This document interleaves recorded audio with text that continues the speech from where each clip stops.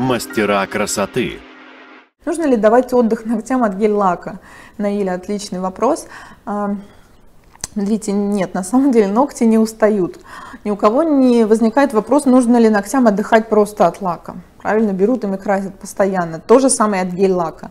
Если мастер делает все грамотно, не перепиливает ногти, а, не там иссушает их какими-то агрессивными а, средствами, то Гель-лак можно носить постоянно, так же, как и искусственный материал. Мастера красоты.